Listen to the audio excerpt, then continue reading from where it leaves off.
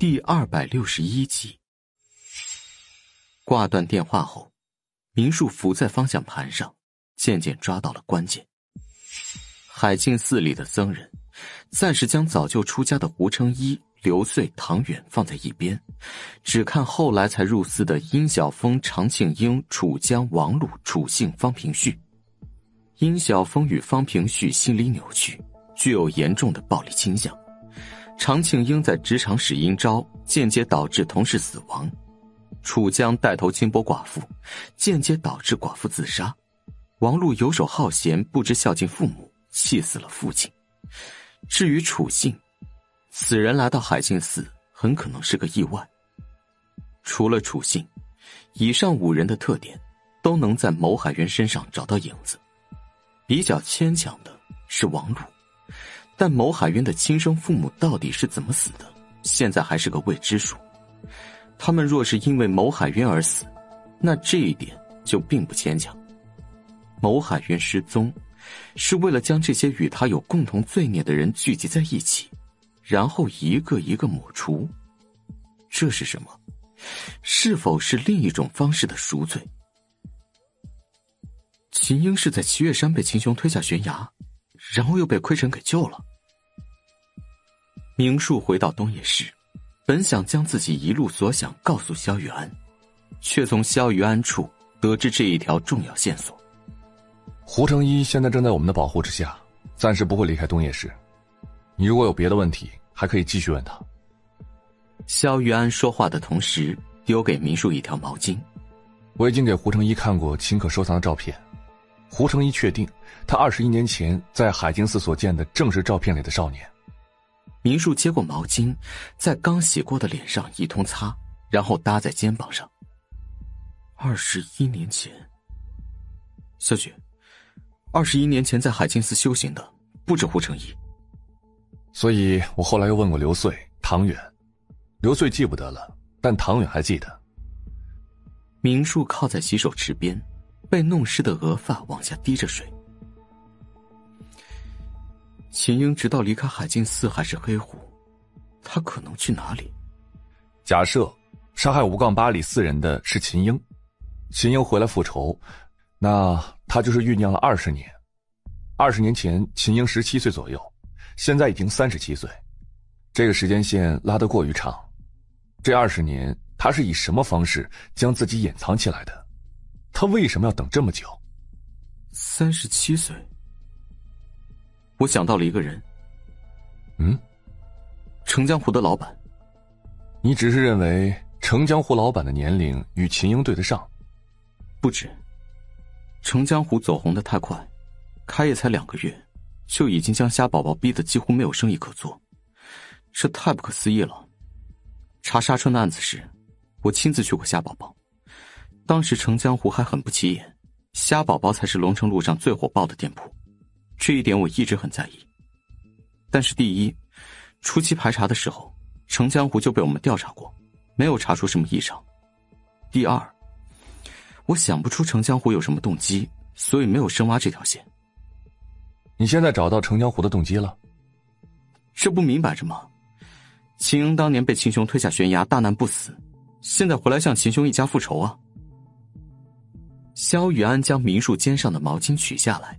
叠成方块，放在明树头顶。程江红走红的速度确实比较可疑，即便有秋明的推荐视频作为加持，也太快了。其中也许有什么我们不知道的猫腻，但如果程江红的老板是秦英，他的最终目的是杀掉秦雄全家以复仇，那他非但不隐藏自己，反倒在这之前就将自己爆了出来，原因是什么？明树专心想案子。没有注意到头上顶了块毛巾。程江湖出现的时机，出现之后的影响，都让人无法不在意。在秦雄一家出事之前，网上就开始议论程江湖取代夏宝宝。命案发生之后，程江湖更是被推到了一个十分尴尬的位置。不仅其生意因为不吉利受到影响，附近的居民闲来无事，更是胡乱猜测。秦雄一家的死，是不是与同阶竞争有关？秦英想要复仇，在虾宝宝旁边开一家店，还开得如此高调，完全是多此一举。但，这只是局外人的想法。不对，是我们没能完全理解一个复仇者的心理。我还有个想法，说说看。以秦英对秦雄的恨，他也许不满足于仅仅杀死秦雄一家，他还想摧毁秦雄。虾宝宝是秦雄引以为傲的事业，当年在秦家二老相继去世之后，秦雄正是用二老的积蓄开了一家餐饮店，这家餐饮店就是虾宝宝的前身。秦英埋伏了二十年，该调查清楚的事必然已经调查清楚，他对秦雄发迹的了解比我们只多不少。在他眼里，虾宝宝是吸他的血，吸他父母的血成长，所以在要秦雄一家的命之前，他还要毁掉虾宝宝。一口气说完，明树看着肖玉安的眼睛问道：“有漏洞吗？”猜到你会怀疑程江湖，程江湖也的确是个要么排除，要么锁定的点。在你回来之前，我已经派方远航过去了。明树眼尾扬起。又迅速冷静，将自己理出的齐月山上的线索一条一条分析给萧玉安听。赎罪，这个思路很新颖。一个有罪之人想要赎罪，首先应该明白自己错在哪里，曾经犯下的罪是什么，然后做善事，或者补偿受害人。到了某海渊这里，就是从自己的双胞胎兄弟处取得一个僧人身份。再将那些与他犯过相同错误的失德者聚集在一起，挨个抹杀。我认为分析一个心理扭曲的嫌疑人，执着于常规逻辑用处不大。以前弯路已经走得够多了，不如换一种思维。对某海渊来说，抹除楚江等人，也许是另一种形式的为善。他最该惩罚的是他自己，但是很少有人能对自己下手，于是他将刀指向了那些像他的人。楚江这三人所谓的云游，全是出自亏臣之口，没有任何人亲耳听到他们说要云游，也没有任何人亲眼看到他们离开海禁寺。而对守泉镇的排查进行到现在，没有人说见过他们。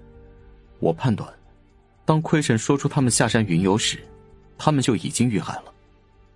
以亏尘的年龄，杀人不算难事，但处理尸体就比较困难，藏尸地不会太远。亦非他们上次去海静寺搜查，是不是只搜查了寺内？是。明树点头，毛巾忽然从头上掉了下来。萧玉安轻笑，明树拿着毛巾，操，你整我！欢迎收听长配文学授权，喜马拉雅独家播出的刑侦纯爱小说剧《心狂》，作者初和，由周末。配音：青山等领衔出演。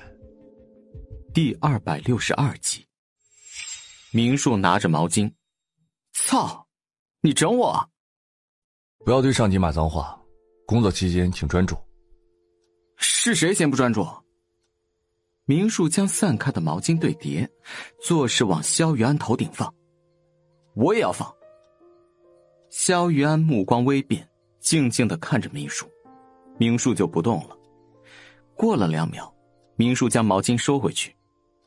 不放就不放，我回家再整你。刚才说到哪里了？明树想了想，忽然道：“当年秦雄将秦英推下去的悬崖在哪儿？就算是游客也不会往悬崖上走，悬崖底下更是安全。窥臣会不会效仿秦雄？”明队，你有点乱了。明树一下子反应过来。现在的亏臣，已经不是当初救秦英的亏臣，何来效仿？按照你刚才提出的想法，某海渊将自己的错误逐条在别人的身上清算，这可以算作一种仪式性。作案具有仪式性的凶手，在藏尸上通常也具有仪式性。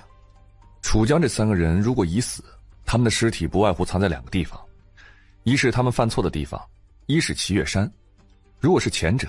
那么，某海渊应该是将他们引到各自家乡再下手，这种可能性不是很高，因为一来一去需要时间。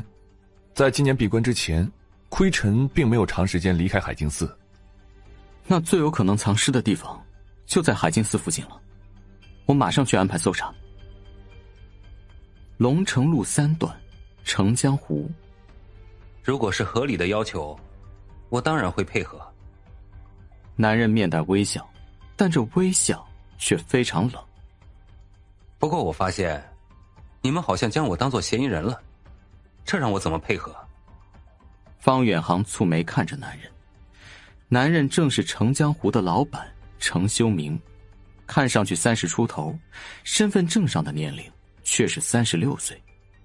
他并非黑户，老家在隔壁韩省的燕城，今年才来到东野市。程修明的背景看似很干净，外勤队员已经去燕城调查，得知程修明以前就经营江湖菜馆，因为手艺好，为人实在。生意一直不错，但今年上半年，程修明忽然将开的好好的馆子交给徒弟韩超负责，只身来到东野市，没多久就开启了程江湖。你们查程哥，至于吗？我程哥是天底下最好的人。韩超为警察跨省调查他的师傅感到极为不满。你们去打听打听，这条街上谁不说我程哥好？程修明在燕城的江湖菜馆开在一条叫做荣华街的地方，在这条街上，程修明算是个名人，哪家哪户有需要帮忙的地方，找到他，只要他有办法，都会帮忙。有时实在帮不了，也会给一些合理的建议。如韩超所说，认识程修明的人，没有人说他不好。但让警方不得不注意的是。程修明孑然一身，没有家人，除了韩超这个徒弟，似乎也没有朋友，无亲无友，独自生活，有忙就帮，不计得失，这是绝对的大善人。可重案组的刑警，个个见多了诡异扭曲的杀人犯，越是这样的善人，越难以逃出他们的视线。善与恶相辅相成，每个人的心中都有恶。无人能够幸免。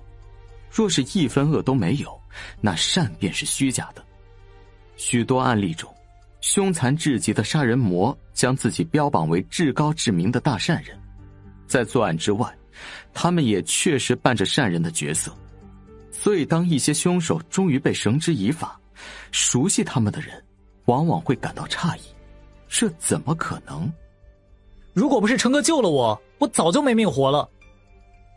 韩超说：“他是被人贩子卖到燕城的，一直没能解决户口和身份证的问题，也找不到父母，无法证明自己的身份，在这个社会上就找不到像样的工作。遇到程修明之前，他一直在城市的灰暗地带勉强度日，好事歹事都干过不少，还险些被骗去贩毒。是程修明将他从歧途中拉了回来。”给了他一份工作，协助他解决了十几年都没有解决的身份问题。我以前也是个黑户，程修明如此说。是程叔为我上了户口。程哥和我一样，也不知道自己真正的父母是谁。他本来应该不姓程，程老伯收留了他，他就跟程老伯姓了。韩超对程修明似乎非常了解。急于让警察相信程修明是好人，一口气将程修明的过去全部道了出来。程修明的手艺传承自亡故的陈书才，程书才妻儿早逝，从对手的餐馆里发现被打得遍体鳞伤的程修明，立即报警将人救了下来。程修明当时还不到二十岁，是个黑户，没有亲人，四处受欺辱。程书才可怜他。到处托人找关系，终于给他办了户口和身份证，将他收为徒弟。先是让他在自己的餐馆里帮忙，后来渐渐将手艺倾囊相授。十几年前，程书才救了程修明；十几年后，程修明又以同样的方式救了韩超。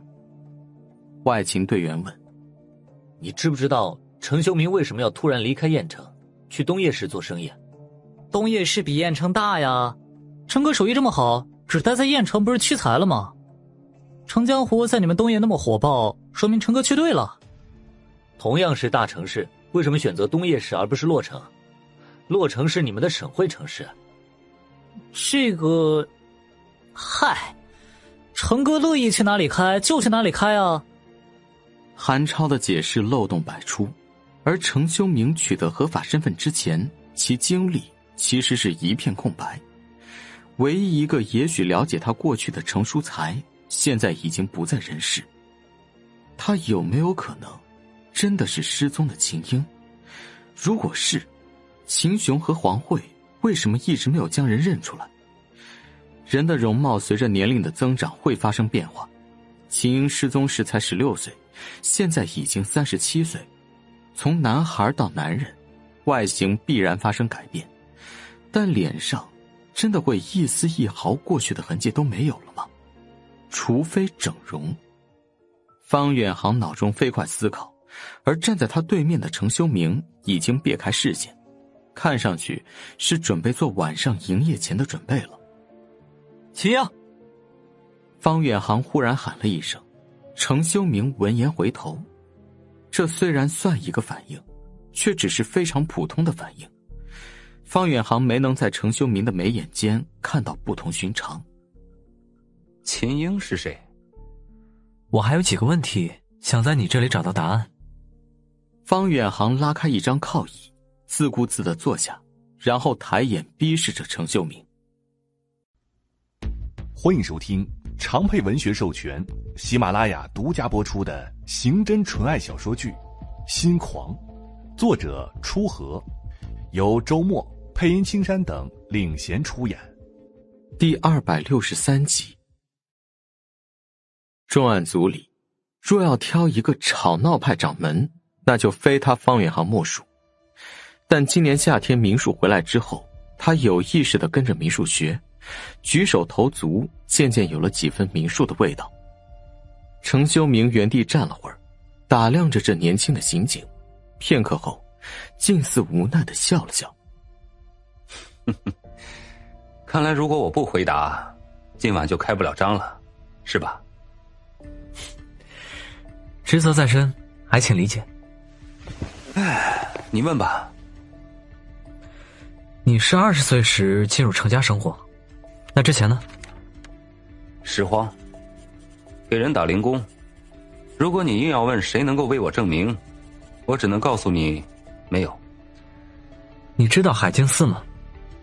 以前不知道，但现在知道了。那儿出了刑事案件。方远航始终盯着程修明的眼睛，发现这人的神情没有任何破绽。程江湖突然火爆。是秋山网民主动找到你，还是你联系到他？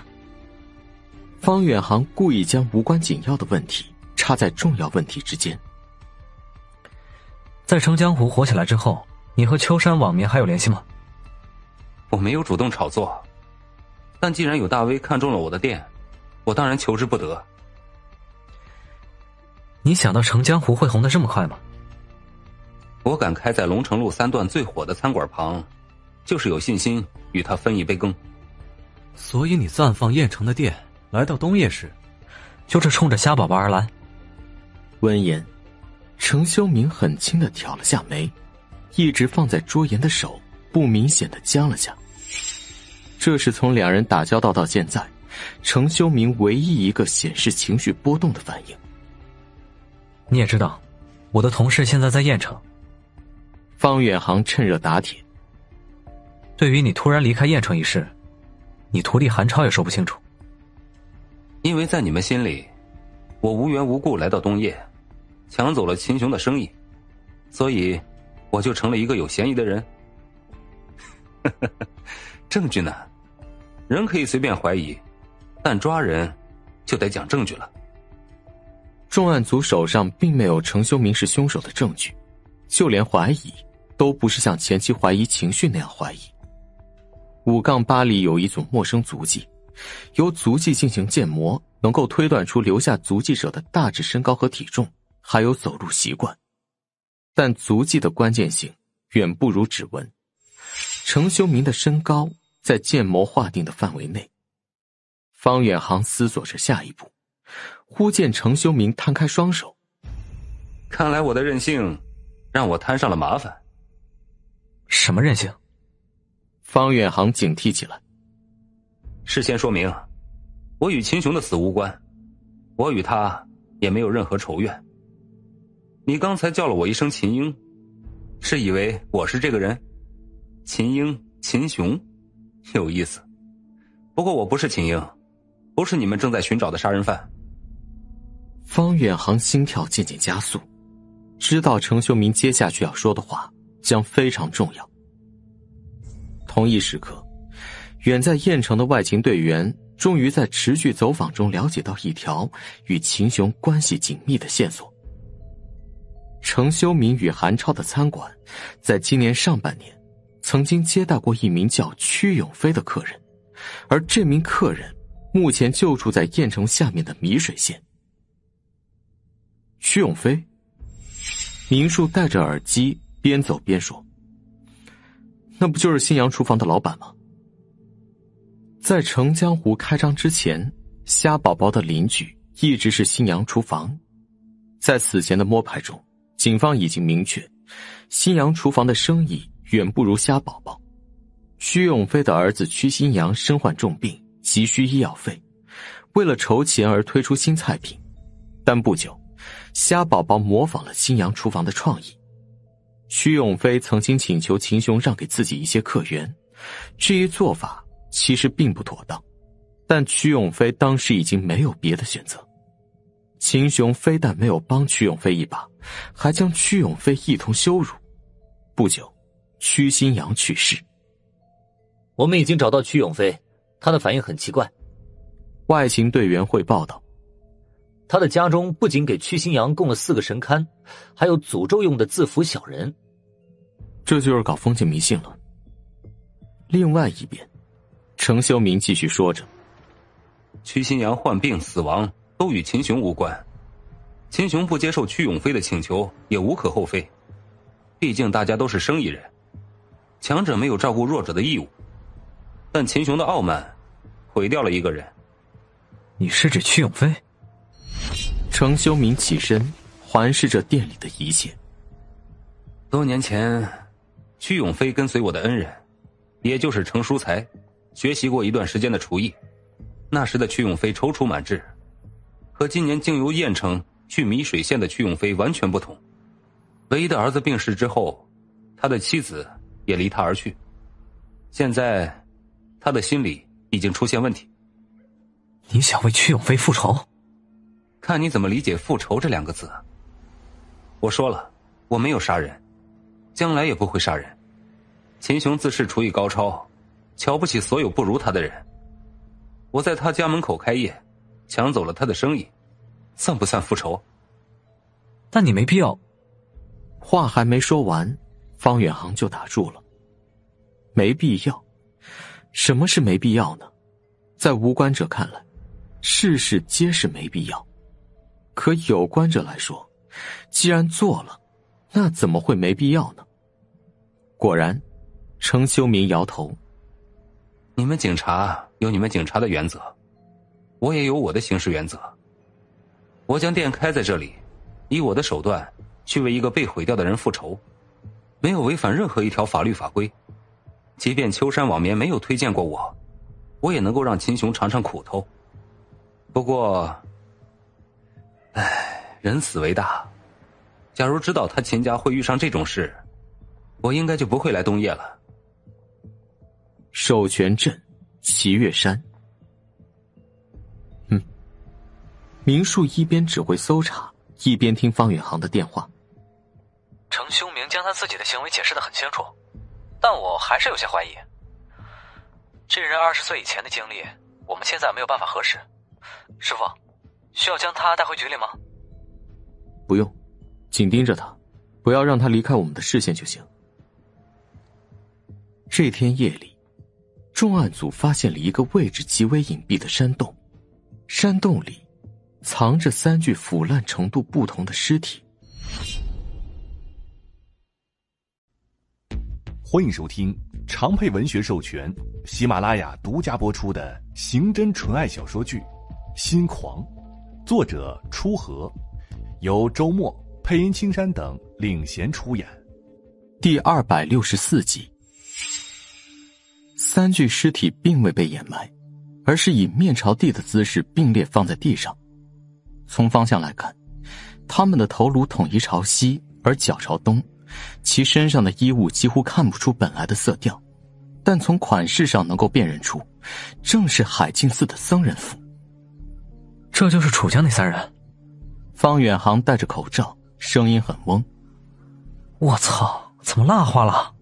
老子最怕这种尸体啊！从着装和腐烂呈现的时间线来看，大概率就是他们。不过还是得等邢老师出结果。明树低头看着三具尸体，眼神渐渐变深。尸体中最左边的一具，部分软组织已经变成泥浆状的灰色物质，这是正在白骨化；而另外两具的臀部、腹部、四肢，则呈黄色蜡纸样，这是开始了湿蜡化进程。中间那一具的死亡时间更早，所以蜡化程度比最右那一具严重。山中气温很低，山洞中温度更低且潮湿，尸体被抛掷在这种环境中，蜡化的可能性很高。但为什么右边两具蜡化了，而左边一具没有？尸体是否蜡化，受到很多外界因素的影响，是否暴露于空气中是其一，周围环境是否阴冷潮湿是其二。通常情况下。埋藏于湿润泥土中，或者直接抛在水中的肥胖尸体更容易蜡化，但也不尽然。明树又看了看白骨化的尸体，星哥，这些尸体是死后立即被抛掷在这里，还是在经过一段时间后才被转移到这里？我估计是死后立即抛掷。回答明树的是萧满。你们进来之前，我已经对这里进行过勘察。这里至少已经有半年没来过人了，土壤完好的保存着一个人的足迹，而且只有这个人的足迹。很明显，这个人就是我们要找的凶手。星木也道：“从尸体的情况看，我也觉得他们是死后不久就被放到了这里。至于为什么在同样的环境下，一具尸体白骨化，而另外两具蜡化，这和他们的自身原因和死亡时间有关。”明树蹲下来。白骨化的这一具更瘦。星木点点头。现在我无法告诉你他们遇害的具体时间，但大致时间还是能判断。这具进入白骨化进程的尸体，死亡时间在去年六月到七月。夏季，楚江下山云游就是夏季，但夏季潮湿度应该更高啊。但夏季山中的蚊虫也更多，蚊虫会加速尸体的白骨化。在对尸体如何发展的影响上，蚊虫比温度、湿度的影响更大。山洞这种环境虽然容易让尸体蜡化，但他们毕竟没有被埋入土壤中，所以正常腐烂并不奇怪。还有一点，蜡化不蜡化和尸体的肥胖程度也有关。明树想起此前看过的楚江、常庆英、王璐三人的照片，楚江很瘦，而常庆英与王璐都较为肥胖。这两具蜡化尸体的死亡时间要晚一些，二号尸体是去年十一月到十二月，三号尸体是今年三月。这个时间段山中最为阴冷，蚊虫绝迹，再加上他们本就肥胖，各种因素相互影响，造成蜡化。蜡化尸体你们都讨厌，但对我们法医来说，蜡化比白骨化可爱多了。明树站起来，因为蜡化的尸体上能保存更多线索吧。对你看，这两具尸体的胸腹、手臂、大腿还有颈部，就有绳索束缚的痕迹。方远航连忙忍着恶心凑过来看，弄清楚同一环境中的尸体为什么两具蜡化，一具白骨化之后，明树便不再打搅醒目，走去山洞外观察周围的情况。这个山洞非常隐蔽，只是粗略搜山的话，不一定能找到。凶手大概也是知道这一点，所以在将尸体带到这里来之后，不仅没有掩埋，也没有处理掉自己的足迹。尸体全部面朝下，这是不是寓意着忏悔赎罪？一人死于去年七月八月间，一人死于去年十一月十二月间，一人死于今年三月，间隔在三个月到四个月，但从今年三月到现在。已经过去了大半年，凶手再无行动。如果凶手是假扮亏臣的谋海渊，他在等什么？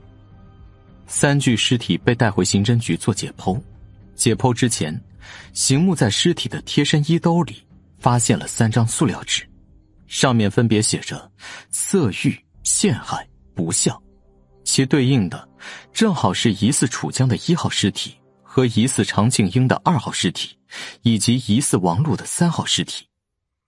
楚江的失德在于调戏寡妇，间接导致寡妇自杀。常静英的失德在于极度优秀的后辈，在公司重要项目上错误引导后辈，间接导致后辈跳楼；而王璐的失德最为明显，是不孝。这三点除了不孝还未得到证实之外，又全部与牟海渊本人的失德相对应。明树将在物证袋里的塑料纸一一摆在桌上。我的推断没有错。牟海渊就是在以杀害同罪者的方式为自己赎罪。现在在海静寺里的僧人，除了刘穗与唐远，全都是他以某种方式聚集的替罪羊。他召集他们，是为了让他们替自己去死。他的下一个目标，要么是殷晓峰，要么是方平旭，他们对应的都是暴力倾向。山洞中的足迹，来自这双雨靴。萧满提着一个大号物证袋。里面装着的是一双黑色雨靴，雨靴看上去已经非常陈旧，表面附着有大量的灰尘与泥浆。雨靴是从海静寺的仓库中找到，从上面提取到的指纹，与某海渊过去留在其经纪公司里的指纹一致。不久，解剖结果与 DNA 比对结果出炉，楚江、长庆英、王璐。在出家之前，都曾在公安系统中留下了个人信息。经比对，三具尸体正是属于他们三人。邢木站在王璐的尸体侧面，双手虚放在王璐头颅两侧，做了个掰拧的动作。三个人都是颈椎严重受损死亡。从解剖结果以及留存在王璐、常庆英头部的痕迹来看，凶手是这样徒手拧断了他们的脖子。某海渊习武几十年，倒是有这样的身手，而且站在他惩罚者、赎罪者的角度，有一个势必让死者痛苦的心理。不过正面袭击这风险有点大。秦哥，在山洞里，你说蜡化尸体上有捆绑痕迹，是死前束缚还是死后束缚？是死后。综合他们身上的其他伤痕，我判断，凶手是在将他们杀害之后。为了方便转移尸体，才在他们身上套上绳索。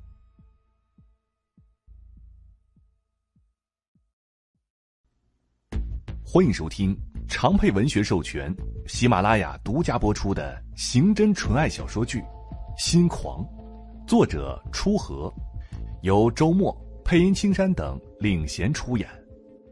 第二百六十五集，他们有中毒迹象吗？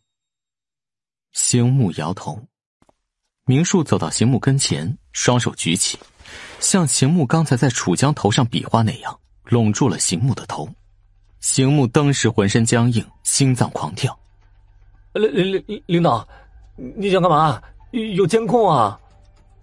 你在清醒状态中，我站在你面前，控制住了你的头，你会反抗吗？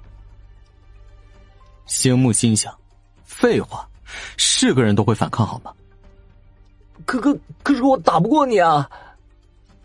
邢木说着，抓住了迷树的手臂，这是个发自本能的动作。打得过打不过，你都会挣扎，这是人的求生本能，就像你现在这样。而我还没有用力，如果我用力，说着，明树加重了手上的力道，邢木差点跳起来就是一脚，明树迅速将他放开。袭警了，金老师。是你先袭警。邢木委屈的脸都白了。你练过的，凭你那本事，轻松就能把我头给拧下来。对，是我先袭警。这种面对面的姿势，只要一个人处在清醒状态中，怎么都会挣扎。但他们身上并没有反抗痕迹，也没有中毒迹象，那就是在睡梦中被人拧断了脖子。邢木还陷在被袭击的紧张中，愣了好一会儿，忽然啊了一声：“啊，不对，不是在睡梦中，是以跪着的姿势被杀害。怎么得出这个结论？我不是说过吗？蜡化的尸体更容易保存线索。王璐和常青英膝盖部位都有压伤，领导，他们死前没有被捆绑，那就是自愿跪在凶手面前，让凶手拧断他们的脖子。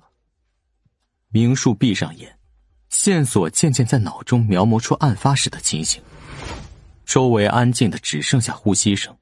邢木等了会儿，小声喊：“领导。”明树转过脸：“邢哥，我让你跪下来，把头递到我手中。”你愿意吗？邢木闻言，眼皮直跳。愿意个鬼啊！我打不死你。你不愿意，没有人会愿意。但是如果换一个人，比如德高望重的僧人，他让你跪下，以双手碰触你头颅的方式洗清你的罪孽，你愿意吗？啊！我没罪孽。我打个比方而已。也不一定是罪孽，不过但凡是人，心中就必然藏有一些不为外人知的事，这些事有好有坏，坏的是伴随终生的阴影。你想除掉这些阴影吗？邢木懵懂的点头，但片刻后又说：“那我也不贵，又不是什么了不得的阴影。对于普通人来说，没有犯过罪，没有做过特别失德的事。”那的确无需被一位僧人度化，但楚江这三人曾经严重失德，所以在亏尘，不对，在某海渊的劝说下，他们主动跪了下来，以为大师是要度化他们，结果却被拧断了脖子。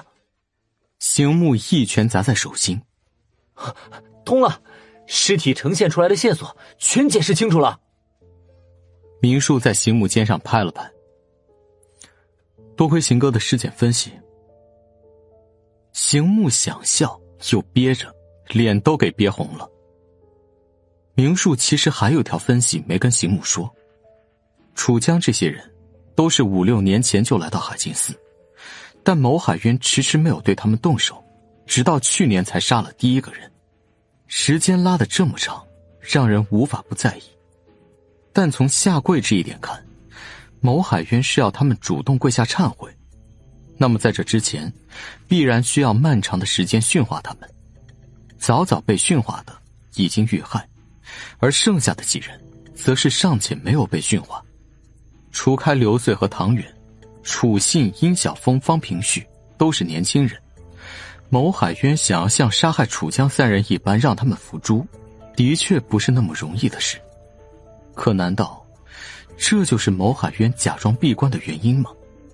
有没有可能是剩余者中的某人发现了某海渊的秘密，先一步反杀？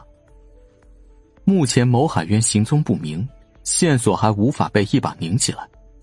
重案组搜查七月山时，对某海渊的详细调查也在进行。隐退之前，某海渊在全国多个城市都购置有房产；隐退之后。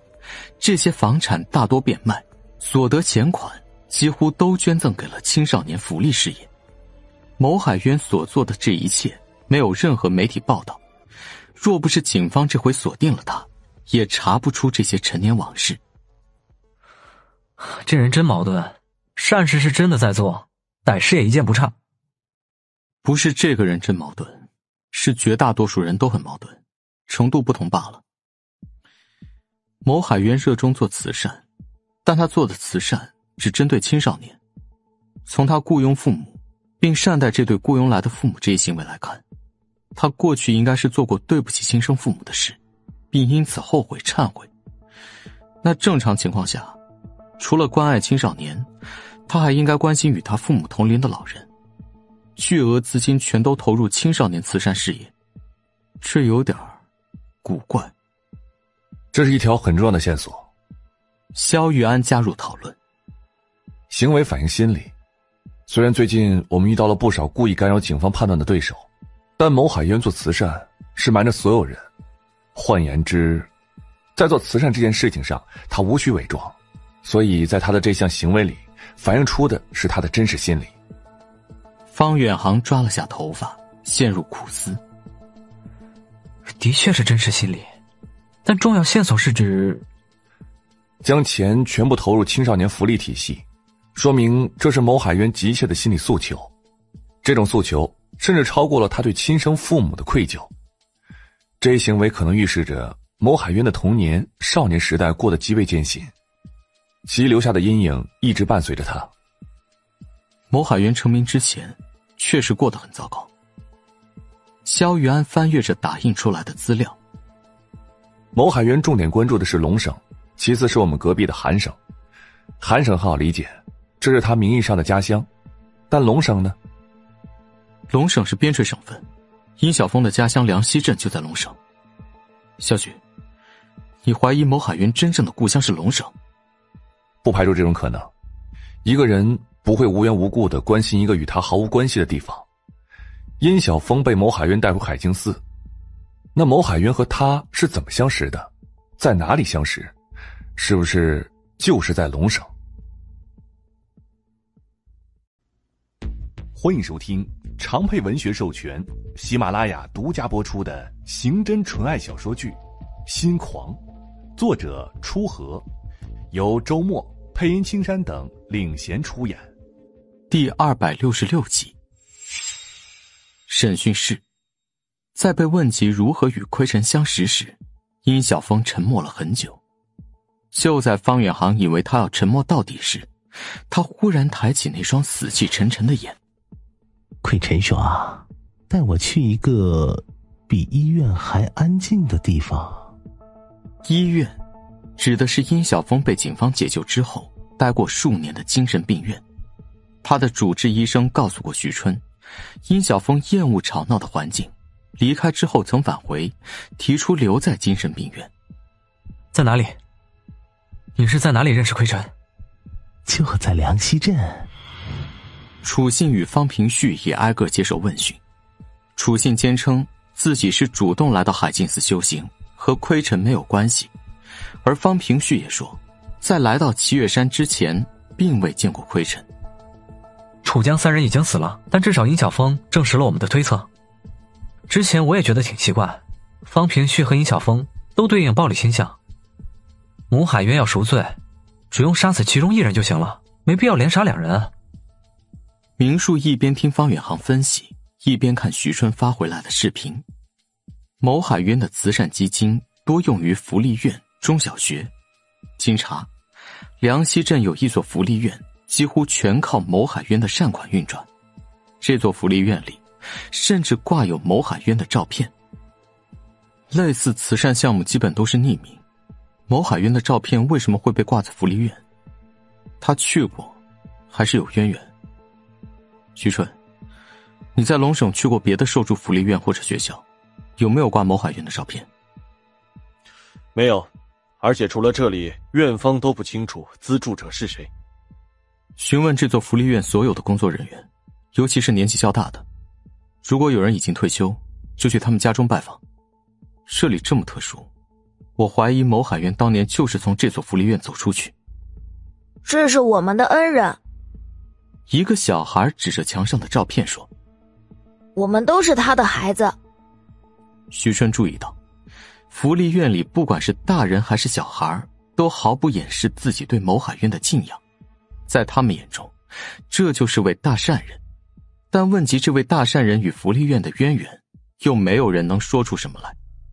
现任院长修春华五十来岁，在福利院工作了二十多年，只知道某海渊和上一任院长好像有些交情。修春华说：“照片是最近几年才挂的，某先生以前不让。为什么不让？可能是做善事不图被人知道吧。”某先生好歹是个名人，那现在你们怎么又把他的照片挂上了？他已经很多年没有来过了，孩子们想用自己的方式感谢他。老院长现在已经过世了。老院长也许是最后一个了解某海渊的人，一旦去世，很多秘密就等于被带进了坟墓。徐春不肯放弃，还是赶到了老院长的家中。老院长的老伴姓陈，七十来岁了，神志还算清醒。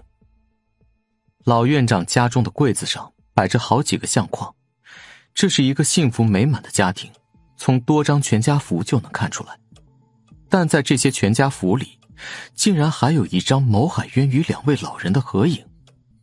海渊是我们的朋友。老人干枯的手拿过相框，细细抚摸。他没有忘记我们。徐春一听这句话，就明白老人一定知道些什么。老人对警察丝毫不设防，道出了几十年前发生在他、他的老伴李柳兰，还有牟海渊以及许多孩子身上的事。即便是现在，梁溪镇也不富裕，更别说几十年前了。冬天，穷得揭不开锅的穆家诞生了一对双胞胎，取名穆海渊、穆海峰。那个时候。也没有上户口这种说法，两个小孩和镇里其他同龄孩子一起，一天天的长大。整个镇子都穷，父母们将口粮省下来留给孩子，但即便是这样，还是难以糊口。穆家两兄弟长到五六岁时，弟弟穆海峰被送给了外地人。靠着外地人给的钱和粮，穆家三口没有在那个寒冷的冬天冻死。开春后，穆海渊跟一同长大的伙伴说，自己想出去闯荡，要把弟弟找回来，将来还要让父母摆脱这般贫穷的生活。伙伴们七嘴八舌，有说要当军人，有说要当科学家，只有穆海渊说，自己要赚钱，要发财。李柳兰说：“那你可不能忘了我们，我们小时候受苦。”但我希望将来出生在这里的小孩不要受苦。我要建一座爱心屋，谁家孩子吃不起饭，就来我的爱心屋吃。海渊，你有钱了，可不可以捐赠一些给我的爱心屋？穆海渊郑重的点头。嗯，我要所有的小孩都能吃上饭。李柳兰就是后来的福利院院长，而穆海渊就是后来的牟海渊。海渊改了名字。第一次回来时，我和柳兰都认不得他了。那时福利院刚建起来，哪里都需要钱。海渊说，他回来兑现儿时的承诺。穆海渊是怎么成为某海渊？老人并未说清，但徐春已经勾勒出一条清晰的轮廓，赶在老人还没有疲惫的说不出话之前问。毛海渊的父母是什么时候去世的？早就没了。海渊十来岁离开，后来镇子里遭了饥荒，大人们将食物让给我们这些小孩那年呢，饿死了很多人呢。海渊的母亲就是那时候死的，他的父亲也没有等到他衣锦还乡呢。东叶市第一中级人民法院，楚灿涉嫌谋杀、非法拘禁、毁尸一案正在开庭审理。法官并未当庭宣判，坐在旁听席上的洛毅站起来，目光正好与楚灿相交。楚灿眼中凶光毕露，而洛毅眼中只有不加掩饰的鄙夷。离开法院之后，洛毅拨了一个电话，对方不知说了什么。洛毅咬牙道：“他们要把楚信关到什么时候？”梁溪镇外的土葬墓群里有一座双人墓，和谋情之与何英华那高价买来的墓相比，这座年岁更久的墓看上去更有人气。老人在墓前插着粗香细香，一边烧纸一边告诉许春：“海渊的亲生父母就葬在这里，他过去啊。”每年都回来扫墓的，很久没来过了。刘兰在世时，时常帮他来看看。刘兰走了，就由我来。刑侦局重案组，牟海渊的亲生父母，一个死于饥荒，当时牟海渊才十来岁；一个死于牟海渊成名之前，两人都没有看到牟海渊成才。方远航理完徐春发回来的线索，感慨道。难怪后来某海渊对尽孝这么执着，没有亲生父母，创造条件也要孝敬父母。明树却摇头。他不是对尽孝执着，他是对成为孝子执着。这有区别吗？当然有。你说的尽孝，是他真心实意孝顺父母；而成为孝子，是他做给外界看。几十年前武打片火爆，某海渊的长相、打法都说不上有特点，相应的，他的人气也说不上多旺。他必须给自己打造一个有别于他人的特点，于是选择了孝顺。从牟晴之和何英华在别墅里的生活就能看出来，他所做的一切，表演的成分更多。啊，这倒是。啊牟海渊一个将自己的错误清算在别人身上的人，还谈什么孝道？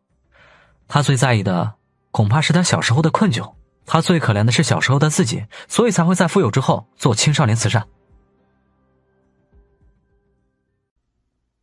欢迎收听长配文学授权、喜马拉雅独家播出的刑侦纯爱小说剧《心狂》，作者初和，由周末配音青山等领衔出演。第二百六十七集。明树沉默了好一阵儿，亦飞说：“小明，现在某海渊的背景清晰了，他的动机也明确了，但是他人呢？”我们的推断再接近事实，找不到人也没用。闻言，亦飞右拳抵住唇。这确实是现在最麻烦的问题。很多十几年甚至几十年都未侦破的案子就是这样，线索有了，证据也有了，精确锁定了嫌疑人，但是无论怎么找都找不到嫌疑人。有的案子则是，终于找到了嫌疑人。但是嫌疑人已经因为这样那样的原因死亡。重案组手上的两桩案子，都面临相同的问题。明树靠在椅背里，闭着眼睛说：“秦英二十一年前被亏尘所救，秦家于他而言有不可不报之仇，但反过来，亏尘对他来说，应当有不可不报之恩。对仇恨越执着的人，对别人给予的恩惠。”也会越谨记于心。秦英说着，明树忽然睁开眼。如果杀害武杠八四人的就是秦英，那么在他复仇之前或者之后，他起码应该到七月山上去看一看奎尘，以及当年照顾过他的僧人。但这很有可能暴露他自己。不至于，七月山、龙城路，八竿子打不着的两个地方，怎么暴露？如果齐月山风平浪静，我们再怎么查五杠八的案子，也查不到齐月山去。可秦英没有必要去见奎尘啊，当年救他的奎尘不是已经死了吗？呃，不对，当年的奎尘已经死亡，现在的奎尘是某海员假扮，但秦英不一定知道，所以他还是会上山拜访。明树抄起手，蹙眉看着方远航，方远航被看得发毛。师傅，假设，我只是假设。明树翻开笔记本，迅速在上面涂写。秦英返回东岳市复仇，他的目标是秦雄一家，但在复仇之前，他想去看看与他有救命之恩的僧人，于是他去到海静寺，发现照顾过他的胡成一已经离开，而亏尘大师不再是他记忆中的恩人，他会怎么做？以一个复仇者的思路去想。秦英会观察窥尘大师，分析蛛丝马迹，最后，最后发现，亏尘大师已经被调包了。我靠！那当秦英发现真相，他岂不是会很愤怒？他会不会逼问某海渊，亏尘大师到哪里去了？秦英可能会杀掉假的亏尘。其实，按照某海渊所谓的赎罪逻辑，他应该是在山上将被他召集来的僧人杀光，然后找个什么理由离开。但他六月就闭关，一闭关就消失。此后也没有杀掉海静寺的任何一人，这等于是他还没有赎完罪就逃走了。我本来认为，某海渊暂缓赎罪，以闭关为借口消失的原因是，他意识到自己无法像杀害楚江三人一样杀死殷晓峰或者方平旭，所以先离开，另想一种手段。但现在多了一种可能。那就是他发现自己可能被盯上了，所以不得不离开。那我现在是不是该再审一回寺里的僧人？吴成一说，秦英离开后再也没有回过海静寺，但他知道的是三年前的事。秦英如果今年或者去年到过海静寺呢？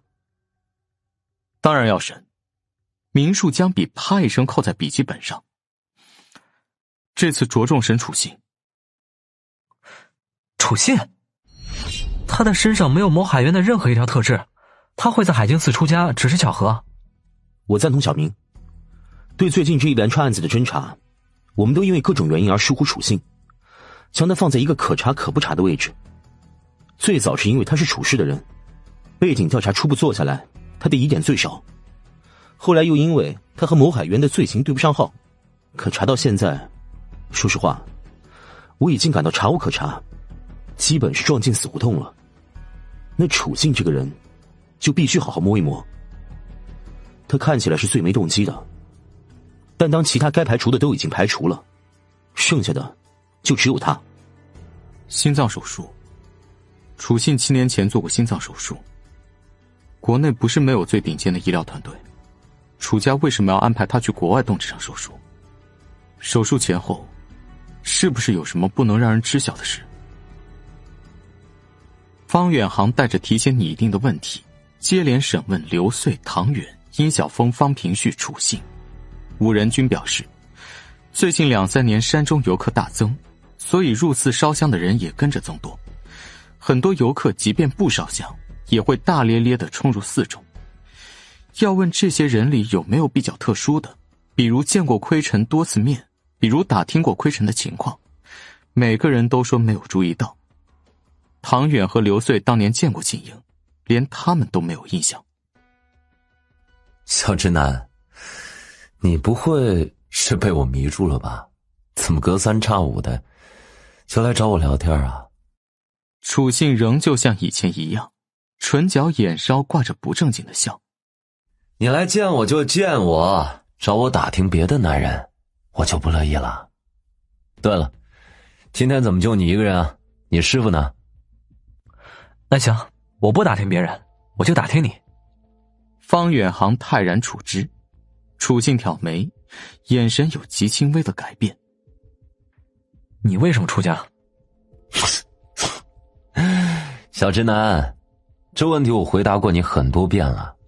我该享受的荣华富贵已经享受过了，该睡的俊男美女也都睡过了，忽然就觉得呀，这一切都是虚妄，于是就进山当了个花和尚，这很奇怪吗？对我这种该睡的俊男美女，一个没睡过的人来说是很奇怪。楚信大约是没想到方远航会这么说，笑容轻轻一僵。方远航没有放过这个细节。又道：“如果你说你出家是因为心脏不太好，所以懒得和楚林雄那些儿子们争斗，倒是更能说服我。”说完这句话，方远航就停了下来，认真的看着楚信的眼睛，而楚信竟然没有像往常那样调戏他。这是为什么呢？你明明有更能说服人的理由，却非要说什么看破红尘。楚信，需不需要我提醒你？你已经被牵涉进一桩重要案件，你所说的话不仅是协助我们警方，也是为你自己洗清嫌疑。如果我是你，我一定会选择更让人信服的说辞。楚信半眯着眼，不知道在想些什么。在他开口之前，方远航忽然意味深长的说：“你说看破红尘，却不提心脏，我是否可以认为，你不敢提到你七年前做的那次心脏手术？”楚信眼尾一下子撑开，瞳孔的光亮渐渐缩小。方远航与他打过太多次交道，确定这是他情绪变动最大的一次。针，也许扎对了地方。欢迎收听长配文学授权、喜马拉雅独家播出的刑侦纯爱小说剧《心狂》，作者初和，由周末。配音：青山等领衔出演。第二百六十八集。不过两秒之后，楚信又恢复到之前的吊儿郎当。切，你这个是强盗逻辑。说着，楚信在自己的心脏位置点了点。在你这儿，已经把我判定成嫌疑人了。你认为我知道我自己有罪，所以在这个前提下，我应该竭尽所能为自己掩饰，为自己脱罪。比起看破红尘，我更应该告诉你我的心脏有问题，这个听上去更可信。方远航皱起眉头，但我知道我没罪啊，呵 呵我根本不在意你们的可信还是不可信，我想说什么我就说什么，我不怕你们查，你们越是查，就越能发现，我楚信就是那么清白。方远航被对了这一通，心情有些复杂，不禁暗自思考：如果坐在自己这张椅子上的是明树，明树会怎么办？是被对的哑口无言，还是反对回去，还是都不会？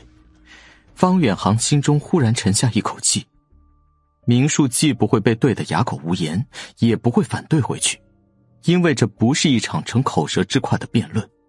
刑警的职责，是从被审讯者的话里找出破绽，找出线索。怎么，小直男不知道该说什么了？我还是对你的心脏手术感兴趣。心绪平复，方远航的思路也跟着清晰起来。方不方便告诉我，你去国外做心脏手术的原因是什么？楚心的笑像是凝固在了脸上，看上去如一张虚假的面具。几秒钟后，楚信说道：“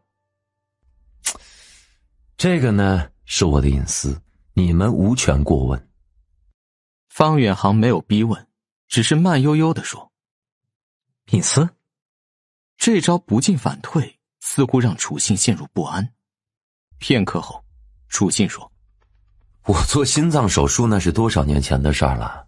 难道你们认为现在的案子？”和我的心脏手术有关系？有没有关系？我现在无法判断，毕竟你还什么都没说。楚信的右手抚上左手手臂，手背上的青筋隐隐浮现。你实在不愿意说也没什么。我们专案组有别于其他中队的原因就是，我们想了解的任何真相，最后都能查得一清二楚。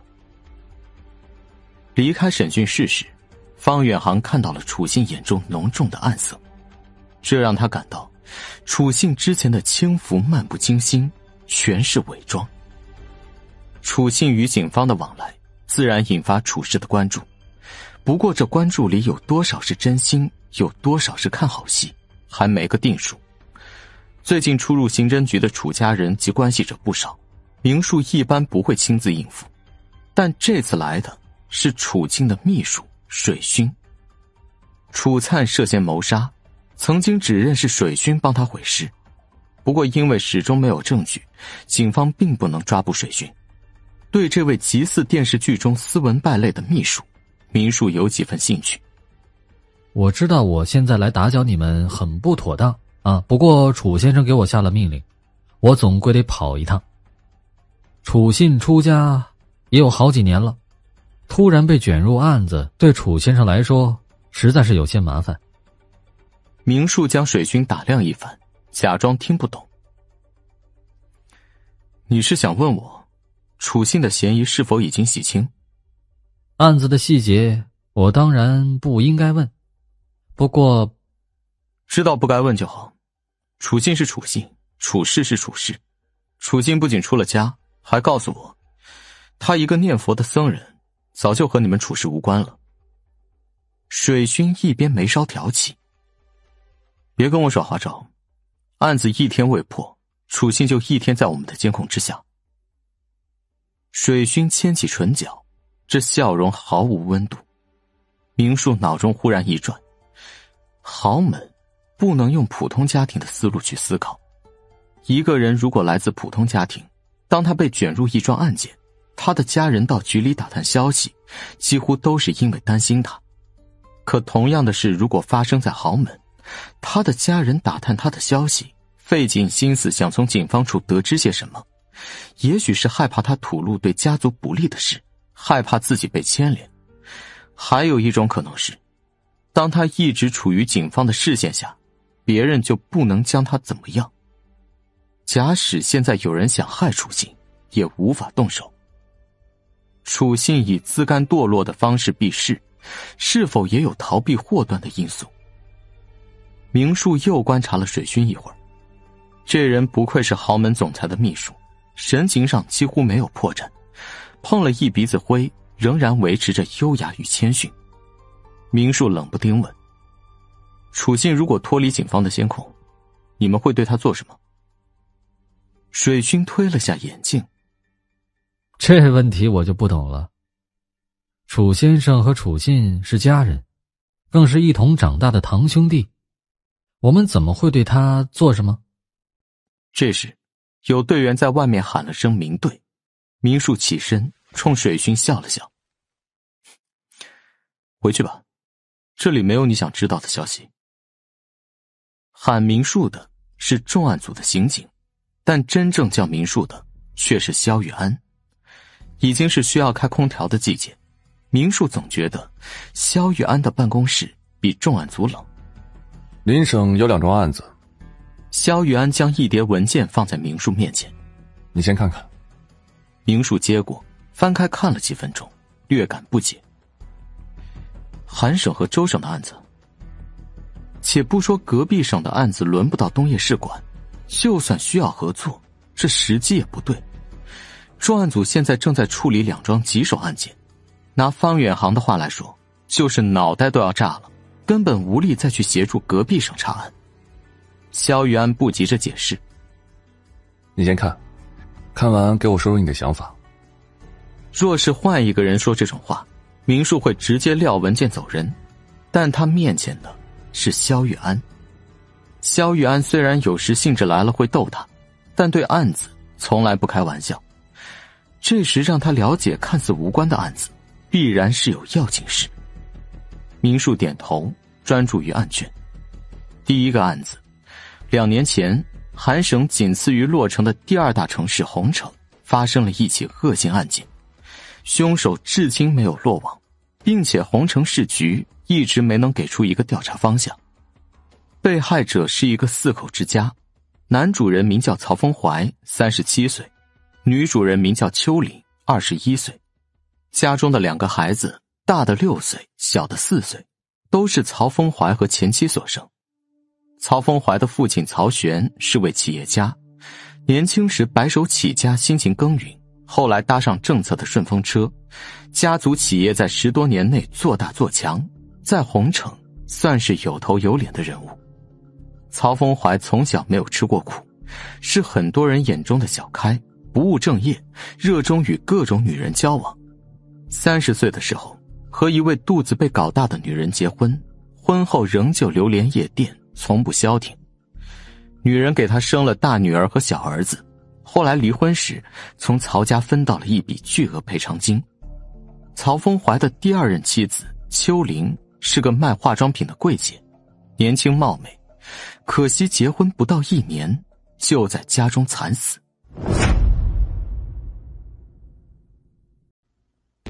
欢迎收听长配文学授权、喜马拉雅独家播出的刑侦纯爱小说剧《心狂》，作者初和，由周末配音青山等领衔出演。第二百六十九集。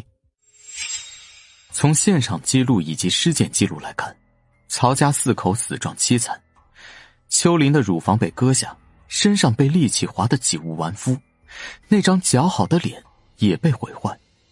曹峰怀更惨，全身的皮几乎被铁刷子刮了下来，一条一条的挂在身上。宁树越看眉心拧得越紧，曹峰怀、秋林的死状与秦雄、黄慧有相似之处。最让人在意的是，黄慧的乳房也被割了下来。凶手在现场没有留下任何痕迹，而曹家别墅附近的监控也没有拍到可疑者。这个人就像鬼魅一般来到曹家，得手之后又如鬼魅一般离开。曹峰怀是曹玄最宠爱的儿子，得知曹峰怀惨死，曹玄立即向警方施压，要求尽快找到凶手。洪城市局成立了专案组，在曹风怀的人际网络中寻找突破口。凶手如此狠毒，仇杀的可能性最高，但警方查遍了可能杀害曹风怀的人，都未能找到证据。嫌疑最大的，无疑是曹风怀的前妻奚小天。在曹风怀四人遇害之前，他就曾多次骚扰秋玲，扬言总有一天要杀了秋玲，并将这贱人的一对奶子挂在阳台上供人瞻仰。但在法医确定的死亡时间内，奚小天却有不在场证明，后续调查又找不到他买凶的证据。去年，曹玄中风瘫痪。大女儿和二儿子争权夺利，而曹风怀的案子在没有线索的情况下，渐渐从热案变成了悬案。目前，洪城警方表面上虽然还是在查这个案子，但实际上却已经松懈。第二个案子，一年前，周省静力市的一位退休狱警龚国珍惨死家中，一同遇害的。还有他的妻子孔月，以及当时与他们住在一起的外孙。这起案子与上一起案子相似，孔月的一边乳房也被割了下来，身体被利器划出无数道伤口，但龚国珍的皮肤没有被铁刷子刮，凶手用钝器敲碎了他全身的骨头。静力市是一座小城市，监控系统本就不完善。龚国珍家所在的小区又是个老小区，监控更是无从查起。后来的人际关系排查显示，龚国珍当了一辈子狱警，得罪过数不清的囚犯。要说动机，这些人都有动机。在龚国珍遇害之后，从同一座监狱退休的另一名警察钱曦也在家中身亡。凶手刘晨没过多久就被抓获。他承认杀害钱曦是因为当年在狱中遭受钱曦等狱警虐待，出来要挨个杀完，并坚称龚国珍也是被他杀害。这一说法并没有被警方采信。静力市的警方还是认为，杀害龚国珍一家的另有其人。明树放下案卷，起身走了几步。从地理位置上看，周省在东叶市与韩省以北。都是相邻的关系。从割下乳房这一点看，曹风怀一家、龚国珍一家、秦雄一家的案子像出自同一人之手，但这三家人至少在目前没有任何关系。明树思考许久之后，终于开口：“从我们这边的线索判断，秦雄一家是死于秦英的报复。那如果这三起案子并案？”就说明曹风怀一家、龚国珍一家也死于秦英的报复。前年、去年、今年，秦英一年屠杀一家，秦家是不是重点？我在龚国珍供职的监狱得到一个线索：七年前，一位名叫白英的犯人成功越狱，至今不知所踪。白英，一个非常普通的名字，但这个普通的名字，顷刻间抓住了民叔的神经。秦英当年在海静寺获救时，始终不说自己姓秦，而秦英名义上的养母名叫白红。离开海静寺之后，秦英给自己改名叫白英了吗？这是静力市第二监狱提供的白英资料。肖玉安点了点桌上早已拆开的封袋，明叔将资料抽出来，第一眼看到的就是白英的照片。那是一张比大多数男人都清秀的脸，双眼炯炯有神，根本不像一名囚犯。明树立即将手机中保存着的秦英照片调出来，左右对比，沉声说道：“白英就是秦英。”对，白英十二年前因故意伤害致人死亡，获刑十四年。这张照片拍摄于十二年前，他当时的年龄是二十五岁，相貌与十六岁时没有太大的差别。服刑五年之后，也就是三十岁的时候，白英越狱离开，至今不知所踪。越狱常见于影视文学作品中，但现实里越狱并不是经常发生的事。一来，监狱自有一套管理体系，再凶残的犯人在里面都会被管服；二来，就算是跑出去了，也只能过一辈子担惊受怕、四处躲藏的生活，极少数犯人。会选择越狱。奇怪，故意伤害致死被判十四年，已经算轻判了。白英服了五年刑，态度端正、积极改造的话，也许无需待满十四年就能出去。他犯不着冒险越狱啊。白英服刑时的表现怎么样？暂时不知道。白英在监狱里的情况，还有犯罪的具体细节，需要你去安排核实。可以肯定的是，当地警方在查龚国珍一家惨死的案子时，并没有联想到白英越狱这个点。怎么会呢？囚犯越狱，不管在哪里都是该严查重查的事。龚国珍死在白英越狱之后，侦查的重点就应当是囚犯报复。但据狱警说，龚国珍一直很照顾这位犯人，白英没有报复龚国珍的动机。明树眉心拧得更深，几乎是一瞬间就有了判断。这座监狱有问题。萧玉安点头。我现在了解到的只是表象和皮毛，毕竟我们的人还没有过去。相似的现场发生在三座城市，龚国珍一家、曹峰怀一家、秦雄一家必然有关系。就我们东岳市的线索来看，这个关系存在于秦英，也就是越狱的白英身上。不过，另外两桩案子说不定就能够提供别的思路。我现在就去尽力室，但这案子不归我们管。跟当地警方沟通好了吗？肖玉安看一眼时间，沟通的事由特别行动队去处理，你准备一下，直接去静力室与他们会合。跨省查案向来不是一件容易的事，省与省、市与市之间消息不一定互通，而且各有各的关系网络，这也是一些流窜型连环凶杀案迟迟难以侦破的原因之一。不过，特别行动队出马的话，问题就好解决得多。明树和逸飞赶往静力市，一下飞机就上了特别行动队的警车。Hello，明树哥，又见面了。副驾上坐了位眼睛很大、头发很短的年轻人，那精气神一看就是特别行动队的队员，但却不像正在开车的队员一样穿着警服，而是穿了件明亮的黄色外套。明树给易飞介绍：“乐然，叫他乐乐也行，特别行动队里最能打的一位。”易飞冲乐然笑道：“你好。”欢迎收听长配文学授权、喜马拉雅独家播出的刑侦纯爱小说剧《心狂》，作者初和，由周末、配音青山等领衔出演。第二百七十集，一顿好啊！乐然与一飞一击上，露出八颗小白牙。沈队也来了，玄哥在市局呢。哎，对了，这个白英以前是个黑户，你们知道吗？哼，他小时候在东叶就一直是黑户。我们现在了解的是啊，这个白英十八岁时在静力市上了户口，帮助他上户口的呢是一户姓乔的人家。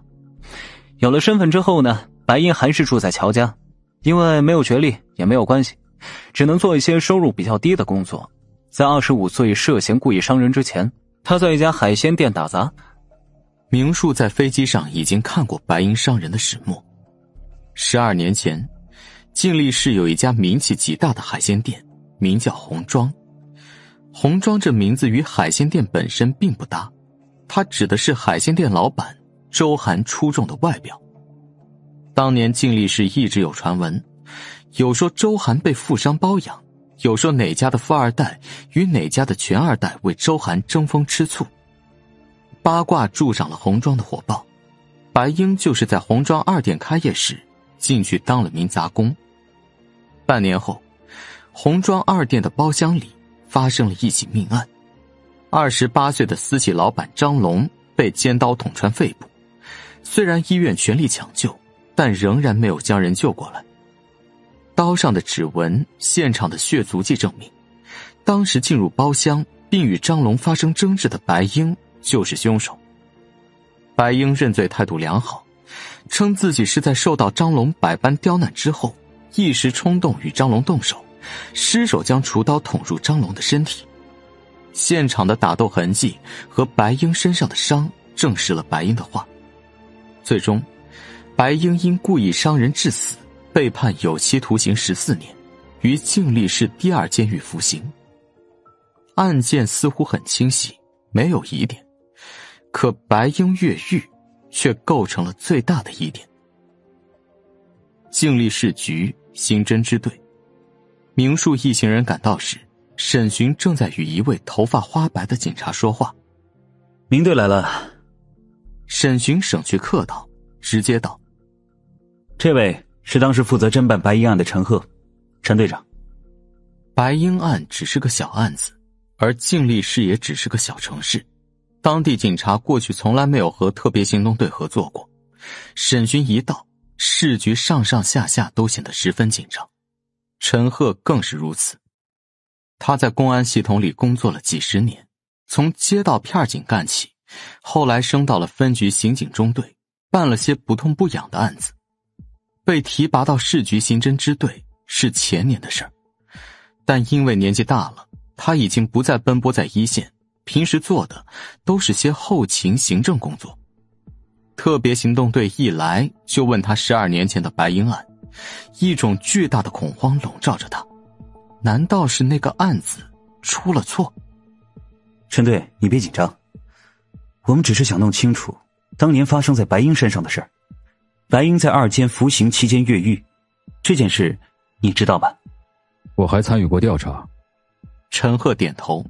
明叔问他：“就你对白英的了解？”他越狱的原因可能是什么？我，陈赫脸上的皱纹抖了下，半天才道：“我对他能有什么了解呀？”明树眼神顿变，一名称职的刑警，绝不该说出这样的话。若要问谁最了解一个杀人犯，那明树的答案绝对是追踪抓捕他的警察。明树自己就非常了解调查过的那些嫌疑人。因为若是没有了解到极致，就根本找不到某些嫌疑人的破绽。当然，不是所有刑警都能做到这一点。那先说说你们当年查白银案时的情况吧。我想听的是细节，还有你们就线索做出的分析，而不是案卷上的那些内容。陈赫与明树对视片刻，别开了眼。这个案子证据比较充足，白英也认罪，我们就没有上报给市局。现在你让我说细节，我真的想不起太多，因为侦查中就没遇到什么难点。这种案子，我们一年不知道要办多少起。你刚才说，你参与了白英越狱的侦查，那对白英服刑时的情况，你应该很清楚吧？陈赫这回点了点头。我听狱警说。他一直认真接受改造，从来没有在监狱里闹出什么事端。唯一的一件事，也是别人欺负他。是什么事？和白英关在一起的都是大老粗，白英一个白净清秀的男人，可能经历什么？不用我说，你们也能想到吧？他被侵犯了？这倒没有，狱警及时赶到，把白英救了下来。白英在监狱里老实、勤劳、听话。狱警多多少少给他开了些绿灯，比较照顾他。后来类似的事儿呢，也就再也没有发生过了。我们去调查白英越狱时，从犯人那儿听说，他们有的人管白英叫二监亲儿子。龚国珍也是照顾他的狱警之一。听见龚国珍这个名字，陈赫脸色一变，讷讷的点头。龚国珍一家惨死，这案子一日不破。悬在静力室上空的阴影就一日难散。遇害的是狱警，嫌疑人多半是某位心中有恨的犯人。同为长期与犯罪分子打交道的刑警、特警，难免将自己带入其中。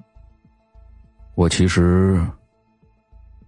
陈赫看了明叔和沈巡一眼，欲言又止。沈巡说道：“陈队，你有任何想法，都告诉我们。”陈赫低头沉默了许久。哎，我其实真的没想通，白英为什么要越狱？他，他实在是不像个会越狱的人呐。他在二监待了五年多，一直本本分分的。当初他认罪态度那么好，也是为了争取轻判。十四年有期徒刑，照他的表现，最后根本待不到十四年，出来也就三十来岁，还可以正大光明的重新做人。但是他跑了，这辈子就等于毁了。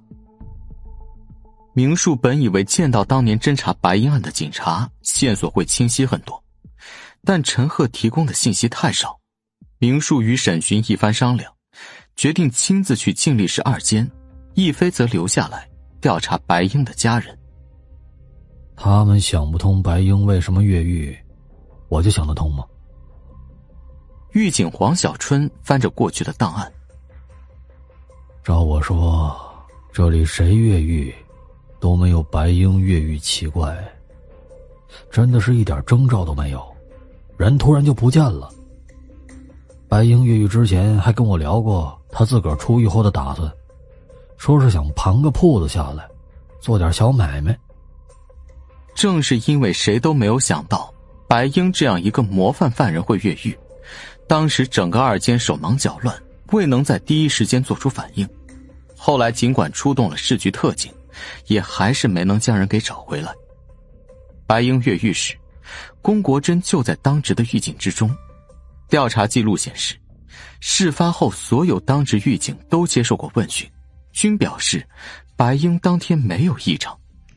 可一个大活人平白无故从戒备森严的监狱消失，又怎么可能毫无异常？一定是有人在撒谎。